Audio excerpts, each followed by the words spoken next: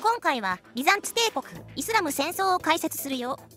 カリフのマームーンの率いるイスラム軍は830年から832年まで毎年ビザンツ軍を攻撃した。ビザンツ帝国皇帝テオフィロスは講和を求めたがマームーンはガンとして受け入れず攻撃を続行した。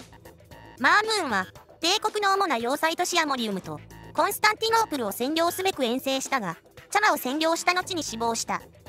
その後形ばかりの休戦協定が結ばれたが837年に破棄されてテオフィロスはイスラム教の撲滅を目指すフルラミテハナ反逆者バーバク・ホラムディンを援助した。テオフィロスは帝国軍を率いてシリア北東部のユーフラテス川に達しサモサタとジバトラの2都市を略奪した。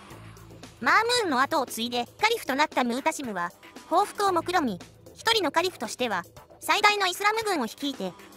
アナトリアに入り838年7月22日にハリス川のダジモンの戦いでテオフィロスの軍を破った。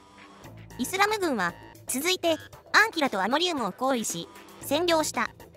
ムータシムはコンスタンティノープルを占領しようとしたが839年同志へ向かっていたイスラム軍の艦隊が嵐で全滅して失敗に終わった。テオフィロスの軍隊はイスラムの侵略軍を辺境へ撃退し841年に皇帝とムータシムは休戦に合意したんだ。今回の解説は以上となるよ最後までご視聴ありがとうございました。